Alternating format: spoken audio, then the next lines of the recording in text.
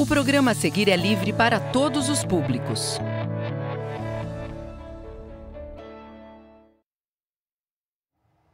Boa tarde, estudante do quinto ano. Boa tarde, bem-vindos, professores, pais que acompanham essa aula pelos canais do Centro de Mídias da Educação de São Paulo. Essa aula de matemática, eu sou o professor Joelson. Faremos então aula de matemática referente ao material Aprender Sempre. É uma sequência didática número 2, aula número 3. Os professores apontam aqui no chat, boa tarde, estão deixando suas mensagens aí também para os estudantes. Sejamos então bem-vindos a essa aula em que falaremos aí sobre números e sobre equivalências, já vou adiantando para vocês. Eu quero convidá-los para olhar, olharem a tela e então sabermos a habilidade do currículo paulista sobre a qual se baseia a presente aula. A habilidade do currículo paulista sobre a qual se baseia a presente aula é EF 05MA10. Concluir por meio de investigações que a relação de igualdade existente entre dois membros permanece ao adicionar, subtrair, multiplicar ou dividir cada um desses membros por um mesmo número, para construir a noção de equivalência. Então, nós vamos fazer nessa aula investigações através de cálculos. Opa, temos o marca-texto selecionado. Já vou arrumar. Então, temos investigações, relações de igualdade. Vamos investigar as relações de igualdade entre dois membros, entre números. E essa relação ela permanece ao adicionar, subtrair, multiplicar ou dividir cada um desses membros por um mesmo número. A gente está trabalhando também com uma noção de equivalência. Bom, eu já sei que a maioria de vocês possui o material em mãos e está aí acompanhando a aula. Alguns ainda que não possuem podem acompanhar na tela a aula. Peço que faça os seus registros. Os professores também vão fazer apontamentos aqui no chat e eu vou repassando para vocês à medida em que a aula segue. Vamos então? Seguimos descobrindo a idade. Vamos ler essa história em quadrinhos? Gabriel e Natália estavam brincando com desafios matemáticos. Leia o diálogo a seguir e encontre a idade de Gabriel. Vamos então ler aí? Desafios matemáticos. Você já brincou de desafios matemáticos com alguém? Gosta de fazer isso? Já fez com algum irmão, com algum primo, com, mesmo com colegas de escola? Você pode fazer isso com alguém da sua casa? E a gente vai conversar mais sobre como isso pode acontecer. Mas a gente vai ler então o diálogo em que acontece desafios, um desafio matemático entre o Gabriel e a Natália. Vamos lá? Diz o Gabriel: Vou escrever um desafio para você. A Natália: Qual desafio? Colocarei algumas operações e quero ver você descobrir minha idade. Natália. Pode escrever. Gosto muito de desafios matemáticos. Vamos então para o próximo. Para descobrir a minha idade, você precisa encontrar o valor desconhecido da expressão 35 menos o valor desconhecido igual 15 mais 8.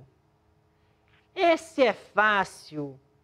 Para a Natália, esse desafio matemático é fácil. E para você? Vamos pensar aí juntos? Vamos pensar nesse desafio matemático? Para a gente. Sua idade é?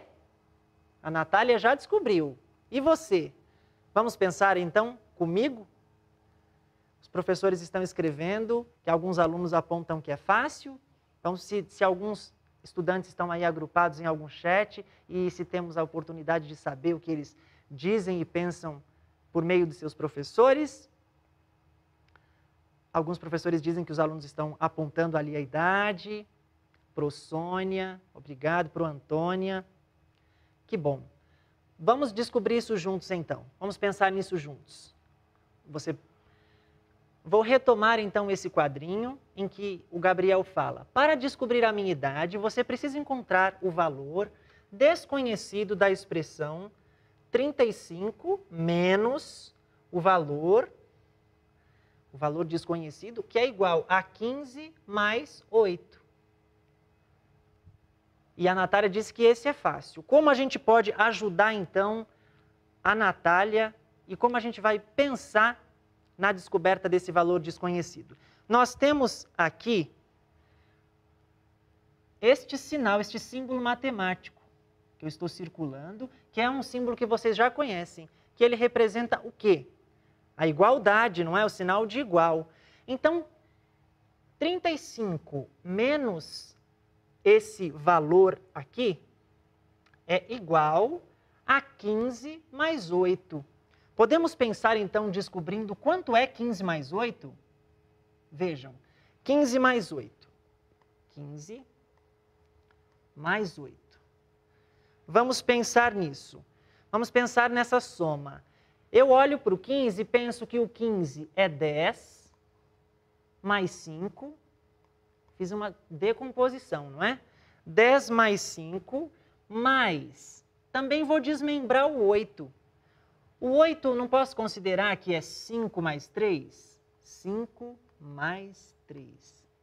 Então, eu transformei a minha soma 15 mais 8 em 10 mais 5 mais 5 mais 3, que vai, vai resultar em quanto? 10, eu posso repeti-lo, mais, ó, somei o 5 mais 5, que tenho 10, mais 3. 10 mais 10, 20, mais 3, 23. Ah, tenho o 23 aqui. Então eu sei que do lado direito do sinal de igual, depois do sinal de igual, o 15 mais 8 equivale aí ao número 23. Então eu sei que o 35 menos um valor desconhecido.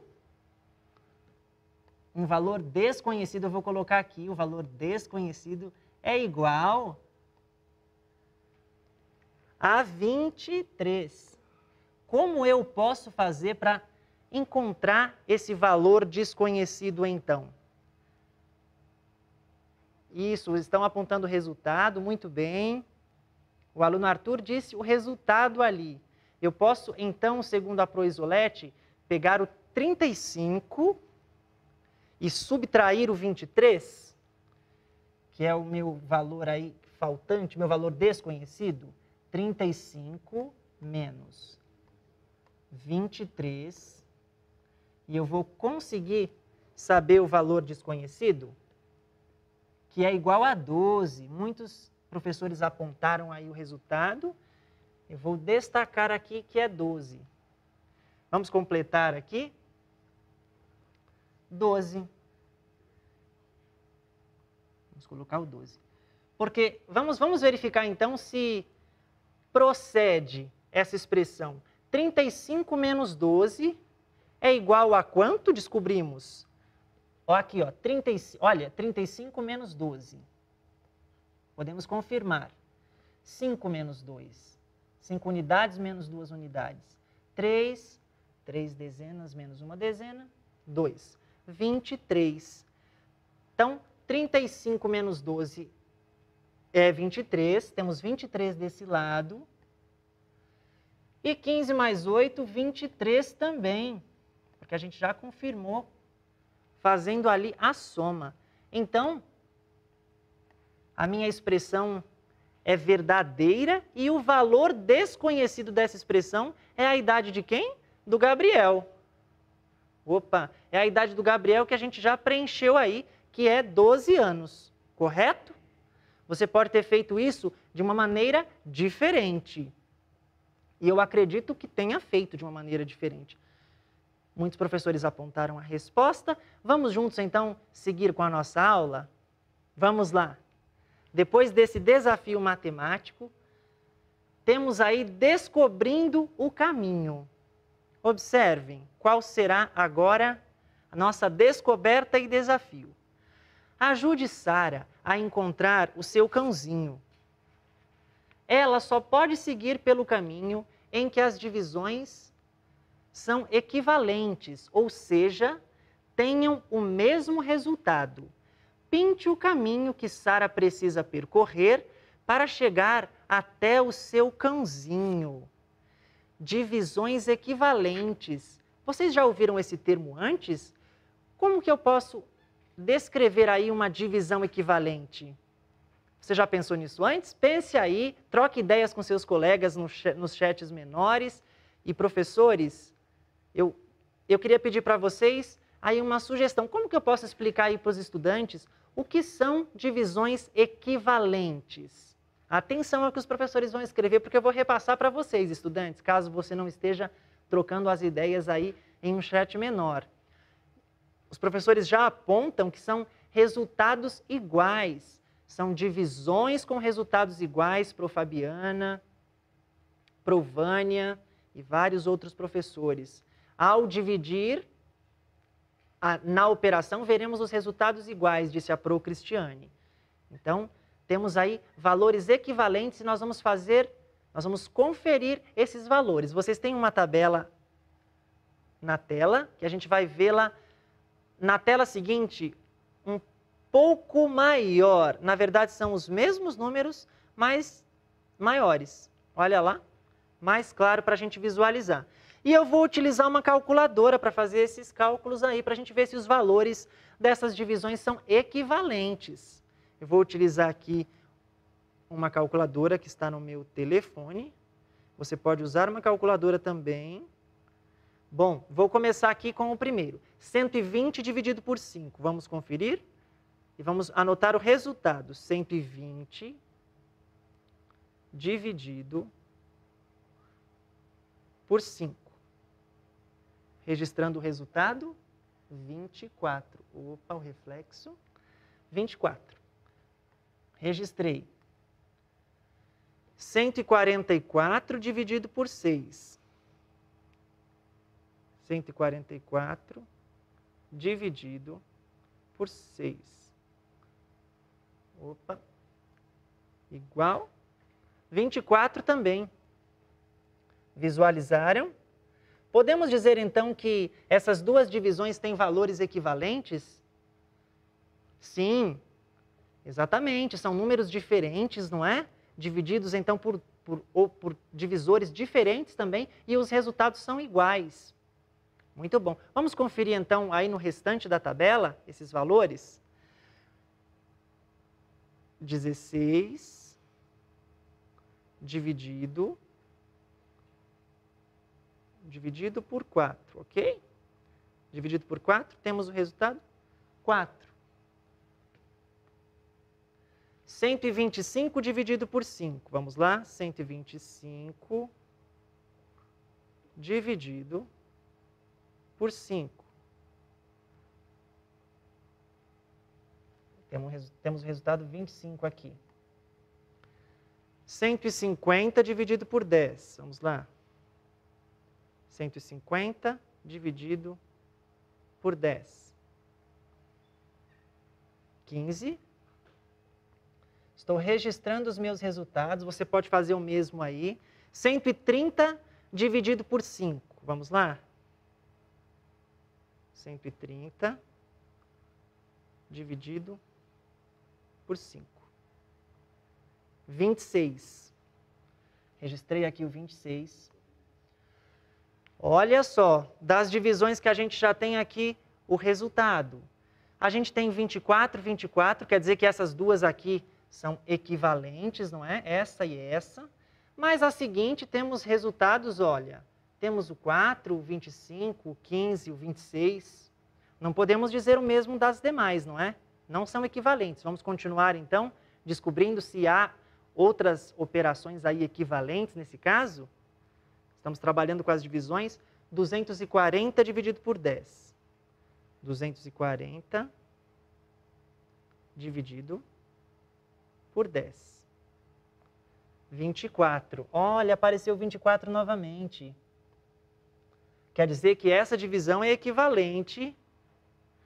Vamos para a próxima? 480 dividido por 20. 480 dividido, opa, por 20. 24 também. 120 dividido por 6? 120 dividido por 6. Igual a 20. E isso tem os professores conferindo comigo, que bom. Vamos lá. 500 dividido por 20. 500 dividido por 20. Nós estamos observando então a equivalência dessas divisões a partir do valor resultante, 25. 72 dividido por 2, vamos lá? 72 dividido por 2. 36. 36. Temos já o 36 dividido por 4. O 36 já está aí, dividido por 4. 9. Temos o 68 dividido por 7. 168 dividido por 7. 24 apareceu novamente. Percebam, os números são diferentes, os divisores são diferentes e o nosso resultado é igual. 48 dividido por 2, vamos lá? Essa podemos fazer até usando o cálculo mental. 48 dividido por 2 é igual a quanto? 24. 192 dividido por 8. Vamos lá. 192 dividido por 8. Vamos ver no que resultou? 24. 24. 228 dividido por 3. Vamos lá. 228 dividido por 3. 76. 400 dividido por 5, 400 dividido por 5 é igual 80. 560 dividido por 5. Opa, dividido por 5. 112. 135 dividido por 3. Vamos lá? 135 dividido por 3, que é igual a 45.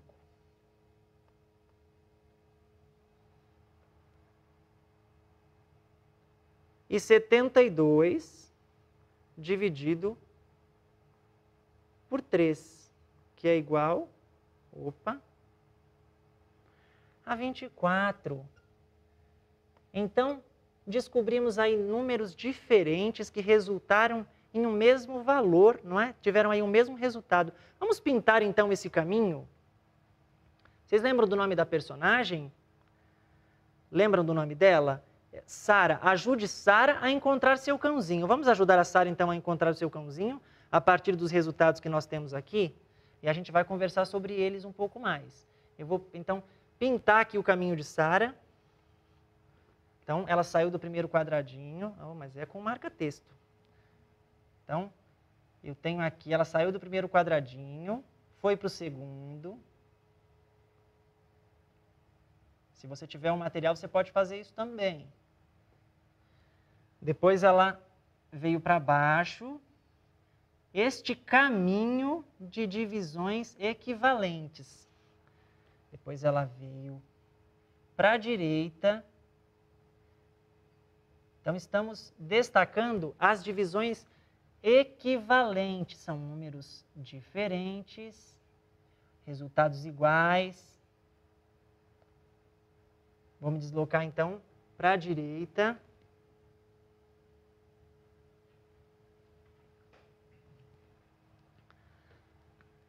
Para a direita novamente.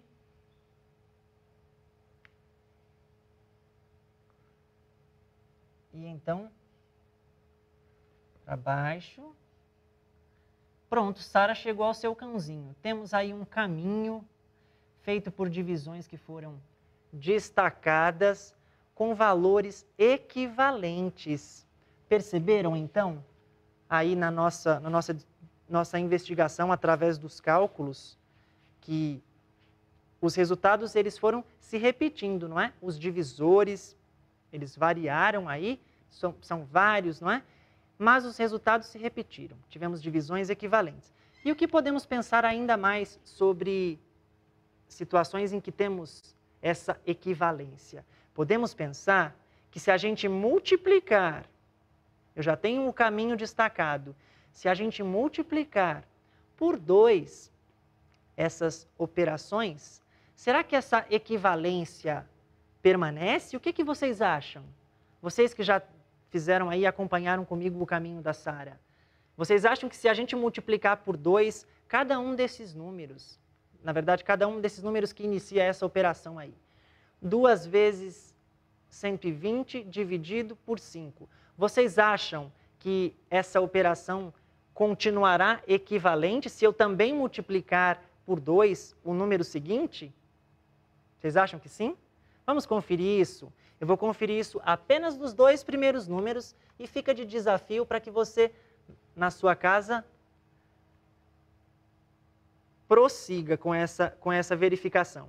Vamos lá? Eu vou multiplicar 2 vezes 120, duas vezes, duas vezes 120, dividido